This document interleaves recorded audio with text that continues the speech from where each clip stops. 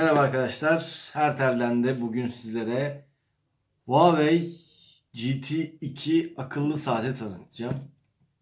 Bunun kutu açılışını yine hem kullanıcı e, yorumları hem gerçek kullanıcı deneyimi. Çünkü bunun için herhangi bir para almadığım için ben buna para vererek aldım. Bunun için de kimseden bir destek almıyorum. E, destek almadığım için de olumlu olumsuz her şeyini söyleyeceğim size. Ee, yani hani bazıları gibi o profesyonel üstadlar gibi diyeyim. Onlar gibi bir destek alıp da Aa, bu saatin şuraları güzel ama bunu mutlaka alın falan gibilerinden bir şeyler yapmayacağım. Dobra dobra her şeyini çatır çatır söyleyeceğim. Çünkü siz de e, bu videoyu izlediğinize göre bu saatten almak istiyorsunuz ve buna yaklaşık 1500 lira bir bütçe ayırdınız. E, ve bu bütçeyi de çöpe atmak istemiyorsunuz. O yüzden güzel bir şey almak istiyorsunuz. Ben bunları bugün sizlere e, gerçek kullanıcı deneyimlerini yaklaşık bir 3-4 haftadan beri kullanıyorum. E, memnun muyum değil miyim? Alınır mı alınmaz mı? Neden alınır neden alınmaz? Bu kısımlarını biraz aydınlatmaya çalışacağım. Ama tabii eksik kalan kısımları olursa yine e, yorumlar bölümüne yazarak da bana ulaşabilirsiniz. Şimdi hemen kutu açılışını yapıyorum. Böyle bir kutusu var. Zaten açmıştım ben bunu ama kutu nasıl onu görün diye tekrardan e, sizlere bunu çıkarttım. Bu iç kısmında iki tane kitapçık var. Türkçe kitapçığı var arkadaşlar. İçerisinde yine şarj aletinin durduğu bir bölüm var. Kutumuz bu şekilde geliyor. Üzerinde zaten saatin kendisi var. Ben klasik modelini aldım. Kahverengi kayışlısını. Ama kayışını değiştirdim. Birazdan onu da göstereceğim. Ee, şimdi orijinal haliyle size bu şekilde tanıtayım diye getirdim. Şimdi hemen şarj aletiyle başlıyorum. İçerisinden Type-C bu şekilde girişli şarj aleti çıkıyor. Ee, normal bir priz adaptörü yok. Priz adaptörü yani mutlaka telefonunuzun priz adaptörü olması gerekiyor. Ya da herhangi bir yere 1 amperlik bir e, şarj adaptörüne bağlamanız gerekiyor. Bunu bağladığınız zaman da saati getirip üzerine sadece koyuyorsunuz ve saat şarj olmaya başlıyor. Ee, tamamen boşken yani %10 civarlarındayken tamamen boşken derken %8 %10 civarlarındayken yaklaşık bir buçuk saatte maksimum şarja ulaşıyor. O yüzden şarjı kısa, hızlı e, hatta 1 saat 20 dakika falan diyebilirim. Ben ölçmüştüm %8'deyken 1 saat 20 dakikada şarj oldu. 2 amperlik bir telefon şarjını takmıştım bu üniteye. E, buradaki şarjı doğrudan telefonun e, saatinde bağlaştı ve o şekilde şarj olmaya başladı. Evet şarjı bir kenara aldım. Hemen saati gösteriyorum. Akıllı saati. Bu şekilde deri kordon ile birlikte geliyor. Klasik modeli bu. Bahsettiğim hakiki deri, gerçek deri üzerinde de yazıyor. Birçok forumda bazı yerlerde bunun suni olduğunu söylüyorlar. Hayır bu gerçekten deri. Baktığınız zaman da zaten kokuyor. Şimdi saatin klasik özelliklerini yani teknik özelliklerini çok fazla anlatmayacağım. Aş- aşağı kısmına zaten bunları yazacağım. Ee, ben genel anlamda yani şimdi ne kadar işte miliamperi şusu busu falan filan ben ona çok fazla takılmıyorum. Tabii ki önemli ama e, ben ne ne yapıyorum ve ne kadar zamanda şarjını tüketiyorum bence bu benim için daha önemli. O yüzden ben size bunu aktaracağım.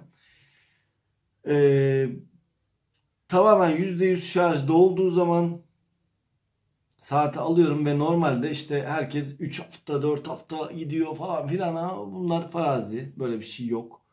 Ee, bu saatte hiçbir şey yapmazsanız belki o kadar gider. Doğru. Ama bu saatte bir şey yapmayacaksanız zaten niye alıyorsunuz? Ee, ben gündelik kullanımdan bahsedeyim. Gündelik kullanımında e, bazı çağrıları bu telefon sayesinde e, sesli yanıt yanıtını kullanaraktan bazı çağrılarımı bununla yapıyorum.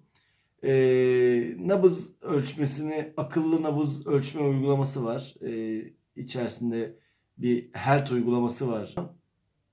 Gayet güzel bir şekilde nabzınızı belirli zaman aralığında ölçüyor. Sürekli ölçmüyor. Pili de daha az tüketiyor. Bunu kullanıyorum. Onun dışında e, hemen şöyle geçeceğim. Ara sıra buradan nabız bakıyorum. Stres ölçmesini kullanıyorum. Birazdan bunu biraz daha detaylı anlatacağım. E, birebir telefondan uygulama şeklinde göstermeyeceğim. Saatin üzerinden gideceğim. Çünkü üstadlar gerçekten bu işi e, çok profesyonelce yapan insanlar bunu zaten çok güzel tanıtmış. Ben sadece hani Ne için alınır, ne için alınmaz bundan bahsedeceğim size. Şimdi e, hemen şöyle geçiyorum. Stresi ölçüyorum. Ara sıra bakıyorum. E, bazen de çok böyle işte sabah mesela kalkarsam buradan müziği açıyorum. İçerisindeki müzikleri dinliyorum. Ama bunu çok sık yapmıyorum. Bu şekilde her gün kullanıldığı zaman e, yaklaşık bir iki haftayı buluyor gerçekten. Yani o konuda yalan yok. E, işte şu anda mesela şöyle hemen geldiğimde şöyle bakayım. Üst taraftan burada bir ana ekranı var. Şu anda %30'da e, işte bu hafta sonuna kadar bitecektir. Yani cuma cuma günü cumartesi günü şarj etmem gerekecektir. İki hafta önce şarj ettim. Yani cumartesi günü şarja takmıştım. E, iki hafta önce. E, yani şu anda iki haftayı bulmak üzere 11 günü falan buluyor. Hafta sonuna kadar da e, o %30'da gider. E, ve ondan sonrasında e, şarj etmem gerekiyor. Ama dediğim gibi bu çok e, sıkıcı bir işlem değil. Şimdi ben nasıl bir kombinasyondan bu saati almaya karar verdim? Ben şöyle bir e, ikili kombinasyon kullanıyordum. Yani sağ kolumda bu Mi Band 4 modeli vardı. Sol kolumda da klasik saatim vardı. E, ben bunun iki, ikisini de çıkarttım değişiklik olması açısından. Bu saate geçtim ve bu saatte bu ikisinin yaptığı her şeyi yapıyorum. Hem biraz klasik bir görünüme sahip, biraz değil bayağı bir klasik görünüme sahip. Yani baktığın zaman takım elbiselerle e, işte e, smart casual'larla falan çok rahat bir şekilde takılabiliyor saat. Yani şu hissi veriyor baktığınız zaman. E, çünkü zaten buradan da işte bakıldığı zaman ayarlanabilir kadranı üzerine basılı tuttuğunuz zaman kadran değişiyor. Bu kadranı da istediğiniz gibi buradan renk renk çeşitleri var. Yaklaşık 15-16 tane şu anda e, kadran değiştirebiliyorsunuz. Telefonunuza uygulamasından indiriyorsunuz. Uygulamasına indikten sonra da buradan görebiliyorsunuz o indirilen, uygulamaları. Ama bu tabi yazılımsal bir şey olduğu için bunu arttıracaklardır diye tahmin ediyorum. Çünkü bazı eksikleri var. Benim şu Mi Band ile karşılaştırdığım zaman yani şu 200 liralık 100, hatta 170 liralık 160 liralık aletle bazı noktalarda e, bunda olup bunda olmayan şeyler var. Enteresan. Onlardan da birazdan bahsedeceğim. Ee, şimdi ilk olarak herkesin merak ettiği çağrı yönlendirme. Biri sizi aradığı zaman buradan telefon çalıyor. Ama burada bir eksiklik var. Mesela Mi Band'da da burada titrerdi. Ve sessize alırdım ben. Bunu da yapamıyorum. Yani bunu e, telefon çaldığı zaman telefonun üzerinden bir sessize almam gerekiyor ki hani çalsın çalsın çalsın devam etsin şeklinde. Bu ayarı buradan yapamıyorum. Buradan sadece no ve yes. Yani hani ya kapatabiliyorsunuz, meşgule düşürüyorsunuz ya da açabiliyorsunuz. Açtığınız zaman da buradan yes'e bastığınız zaman da doğrudan kişi bağlanıyor. Ee, arabada çok işe yarıyor bu. Yani hani arabada çok sıkça kullanıyorum. Elim direksiyonda olmasına rağmen sesim çok net bir şekilde karşı tarafa gidiyor. Yani şu ana kadar kendim de denedim zaten. Ee, karşı taraftan da bir olumsuz bir geri dönüş almadım. E, o yüzden hani o yönden iyi. Telefonla konuşması ve ses seviyesi gayet yeterli. Ses seviyesi de çok yüksekte yani dışarıda sokakta yürürken çok fazla konuşamazsınız. Çünkü e, duyamazsınız. Yani hani o, kadar yüksek değil. Ama e, yani müzik kalitesi eh orta civarlarda. E, tabii ufak bir hoparlörü var yani o amaçla yapılmadığı için ama o yine de güzel bir şey. Yani telefonla konuşulabilme, konuşabilme özelliği iyi. E, Burada şöyle bir şey var. Şimdi e, Health uygulamasını açtığınız zaman Health uygulamasında 10 tane telefon numarası giriyorsunuz. Ve orada e, şuradaki tuşa basıyorsunuz. Burada işte favori listesi var. Oraya geleceğim şimdi. Gelemedim. Kişiler. Favori kişilerde ben ailemi yaptım. Favori kişilere. E, buradan doğrudan basıp direkt olarak arayabiliyorsunuz. Baba dediğimiz zaman tak diye babamı ya da halamı ya da annemi, ablamı arayabiliyorum. Ee, bunu yapmazsanız da sadece e, buradan e, yani bunun üzerinden telefonun üzerinden direkt aramayı sadece e, cevapsız çağrı bırakanlar ya da sizi arayanları göre, görebiliyorsunuz. Öyle bir bölüm var. E, hemen şuraya basıyorum. Burada beni arayanlar, cevapsız çağrı bırakanlar bunlar var. E, ben bunları doğrudan e, bunun üzerine basaraktan arayabiliyorum. Ama onun dışında sizin e, telefonunuzdaki telefon rehberini buradan göremiyorsunuz. Bu bir eksi. E, o hani oradan seçip de buradan arayıp o şekilde bir şey yapamıyorsunuz. Herhangi bir numara giremiyorsunuz. Yani bir sıfırdan bir 0 532 deyip bir numarayı giremiyorsunuz. Böyle bir özelliği yok. Ee, bunlar yani bana göre olsa daha iyi ama bunlar tabii yazılımsal bir şeyler olduğu için ileriki zamanlarda düzelir mi bilmiyorum. Ama düzelebilir. Ee, adım sayması çok stabil. Hani ona geçeyim hemen. Adım sayması e, gerçekten Mi Band'da çünkü biraz şişirilmişti bu. E, ben günde böyle 12 bin, 13 bin adımlar atıyordum çok fazla hareket etmeden. Bunda daha az. Yani çok hareketli olduğum günlerde bile 7500-7600'lere çıkıyor. Bunu da aynı şekilde Mi Band gibi kullanıyorum. Yani sürekli kolumda takılı. Ee, ben biraz daha işte bu spora uysun diye şöyle bir kayış sipariş ettim. Bu işte gitti gidiyor üzerinden sipariş ettim. 30-35 liralık bir kayış. Tabii çok iyi değil yani silikon kayış. Ama hani spor faaliyetlerinde e, genel günlük kullanımda gayet iş yapıyor. E, bu bu arada kayış değiştirmeyi de hemen göstereyim. Hatta yapayım bir tane örnek olarak. Şurada iki tane tırnağı var. Yani şöyle yaklaştırdığım zaman görebiliyor musunuz bilmiyorum ama iki tane tırnağı var. Bu tırnağı geriye doğru çektiğiniz zaman kolay bir şekilde çıkartıyorsunuz. Bakın çok basit. Yani bu bu yönden çok iyi. Hani Evet. Bakın bu şekilde kayışını değiştirdim şu anda. Artık siyah döndüreceğim bunu. Çünkü gerçekten hani kahverengi de çok sevdiğim bir renk değil baktığınız zaman. O yüzden de çok kahverengileri de kullanma ihtiyacı hissetmiyorum.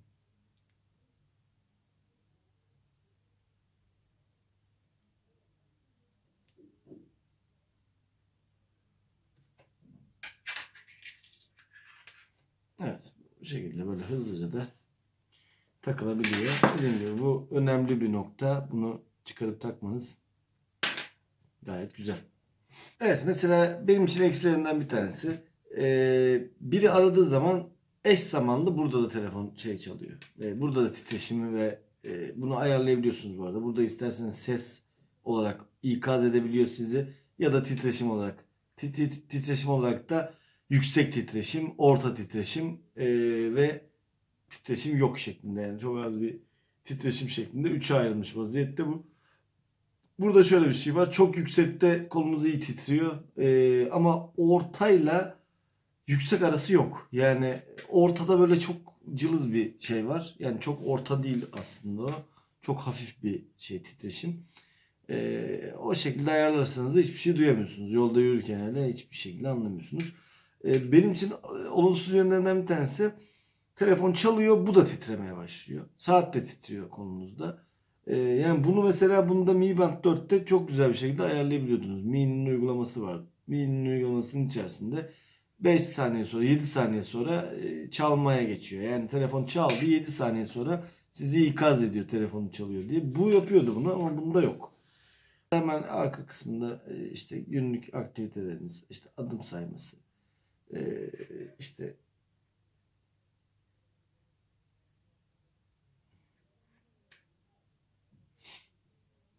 yani nabzınızı sayıyor. En yüksek nabzınızı gösteriyor. 93'müş.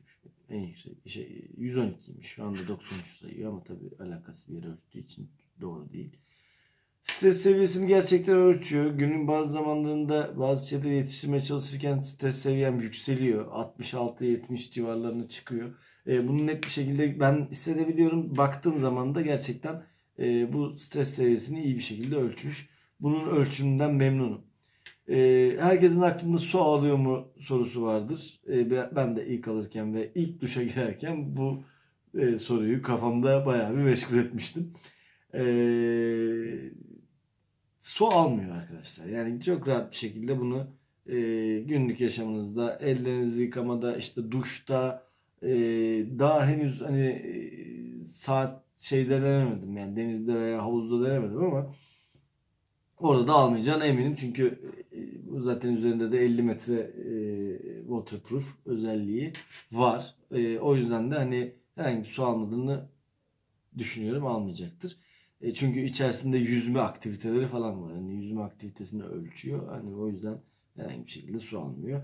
Bunu insana hiç kolundan yani bunun sloganı hiç kolundan çıkartma. Ben de bunu yapmaya çalıştım. Ya bunda zaten buna çok rahat bir şekilde alışmıştım. Birinci günden itibaren almıştım. Burada e, hep hani yıllardır e, yaşamım boyunca saat kullandım ve saati her akşam e, çıkartıp komodine koyduğum için de e, biraz yadırgadım. Çünkü bu sol kolumda bir şey olmasına çok alışkın değilim. Bu o yönden ilk başlarda tabii deriyi kullanamadım. O yüzden çok sert geldi. Daha ağır geldi. E, bu işte silikon kayışla daha hafif bir şekilde bir kullanım elde etti. Biraz tabii saat kalın olduğu için, Mi Band gibi olmadığı için, bir bileklik olmadığı için e, ilk zamanlarda e, işte gece kalktım çıkarttım mesela. E, işte hani takmadım etmedim falan filan ama şu anda alıştım. Şu anda artık bu saatle birlikte yaşıyorum. Yani kolumda çok fazla hissetmiyorum onu. E, yani varlığı en azından rahatsız etmiyor. Bazı ara zamanlarda işte terletme yapıyoruz tabii silikon olduğundan dolayı. Onu da işte bir tık e, kayışını e, genişleterek e, o şekilde kullanıyorum. Herhangi bir sorun yok bunda. E, dediğim gibi yani su geçirme üzerine tekrar geri dönecek olursam bu e, duşlarda herhangi bir sorun yaratmıyor. Duşta herhangi bir sorun yaratmadı. Fakat duşta müzik dinleyin fantezisi yaptım. Hem müzik açtım hem de e, duş alırken. Burada e, bazı sorunlar yaşadım. E, hemen yan kısmında taraftan nasıl net görebiliyor musunuz bilmiyorum ama şu kısmında hoparlör çıkışı var. Bu hoparlör çıkışı da tıkandığı zaman seste patlama yaptı. Ee, ve uzun bir süre gitmedi bu. Aklım gitti orada yani hani ah dedim bozduk herhalde. Ee, kızdım da kendi kendime yani hani tamam adam su geçmiyor diye bir, bir şey yapmış ama hani müzik dinle de dememiş yani üzerinde ama yani hani bir yandan da şey yapamadım. Sonra buradaki herhalde su çıktı bir şey oldu bilmiyorum. Bir müddet sonra denediğimde yani yaklaşık bir, bir saat sonra denediğimde ses normal gelmeye başlamıştı ama ilk başta e, epey bir korktum. Yani çünkü ses oraya su geldiği için orada su kalan su bir çatırdama patırdama yapıyor. E, kötü bir ses gelmeye başlıyor yani orada. Bu biraz böyle beni panikletti ama sonradan düzeldi. E, bu Health uygulaması için ayrı bir video çekeceğim. O yüzden şu anda çok fazla girmiyorum ona. Ama mesela burada e, genel menüden e, gidecek olursak işte burada bir e, telefonunuzdan e, aldığı, aldığı bir hava durumu var.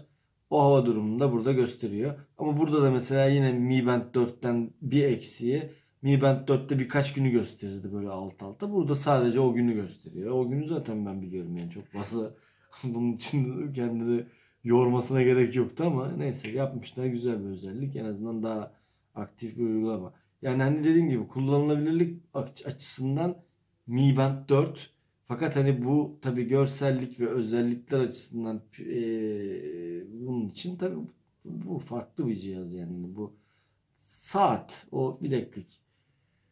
Burada bir ana ekranı var. Ana ekranında bunu işte aşağı indirip çıkartıyorsunuz. Burada telefonumu bul özelliği var. Telefonuma bula bastığı zaman I'm here diyerekten size bir ikaz veriyor telefon. Yanına gidene kadar da siz buradan durdurana kadar da durmuyor. Güzel bir özellik. Alarm özelliği var kurabiliyorsunuz.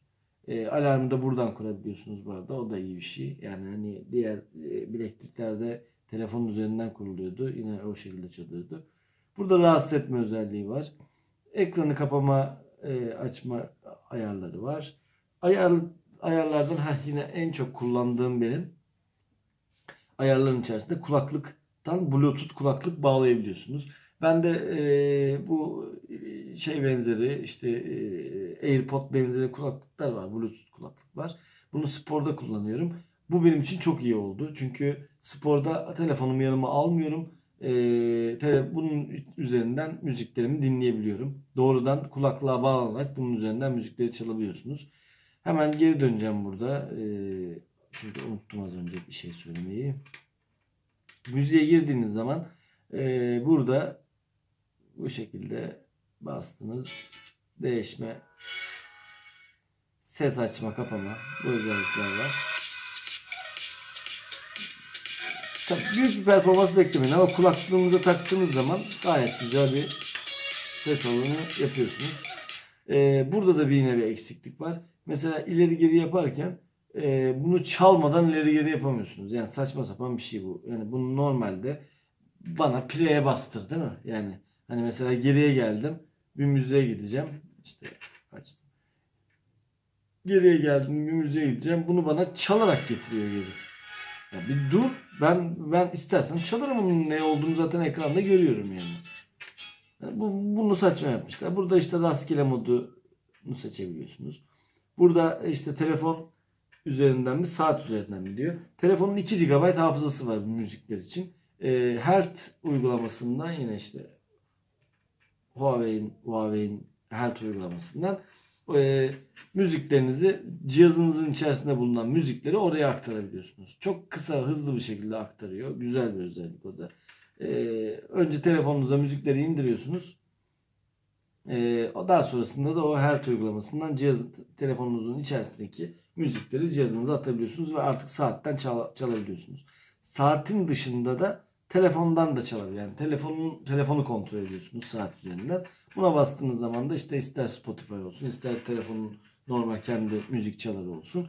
Bunu işte sağ sol yaparak, sesini açıp kapatarak kumanda edebiliyorsunuz. Ee, hemen bunun alt kısmında kulaklık var. Dediğim gibi kulaklığı e, herhangi bir işte arabanın da hoparlörü olsun, işte bir kulaklık normal olsun. Bunlara bağlanabiliyorsunuz. Bu güzel bir özellik. Ben bunu çok kullanıyorum. Çünkü spor esnasında telefonumu yanıma almıyorum. Direkt olarak içerisinden dinliyorum müzikleri. Çok rahat bir şekilde kontrol ediyorum. Hem spor orada nabız e, akışımı hem işte yaptığım aktiviteleri adım say saymasını her şeyini yaparken bir yandan da müzik dinletiyor size. Bu güzel bir özellik olmuş. Bunun için alırdım yani. yani sadece böyle bir özellik olsa da bunu alırdım. Bu güzel bir şey çünkü. Yani diyeceksiniz ki e, ya zaten bu 50 liralık 30 liralık e, MP3'ler de bunu yapıyor neredeyse. Ama yok yani hani e, ne olursa olsun sonuçta bu saatiniz sizin ve sürekli yanınızda yani o yönden e, çok iyi. Hani çünkü o MP3 çalarlar önemli anlarda ya pili biter ya yanınızda yoklardır. O yüzden bunlar iyi. Ya da işte mesela diyeceksiniz ki ya o zaman bir tane işte içerisinde müzik yüklenebilen bir kulaklık al falan. Ya o da dediğim gibi aynı. Yani hani e, bunun e, vermeyecektir. Durumumuz böyle. E, çok şeyinden bahsettim zannedersem. Dediğim gibi yine hani aklınıza takılan bir şey olur. Ne zaman istiyorsanız yazın. Mümkün olduğunca cevaplıyorum. Cevaplamaya çalışıyorum. Ee, izlediğiniz için teşekkür ederim. Videoyu beğendiyseniz videoyu beğeni tıklamayı. Bu tip videoların devamı için de kanalıma abone olmayı unutmayınız. Herkese keyifli bir gün diliyorum.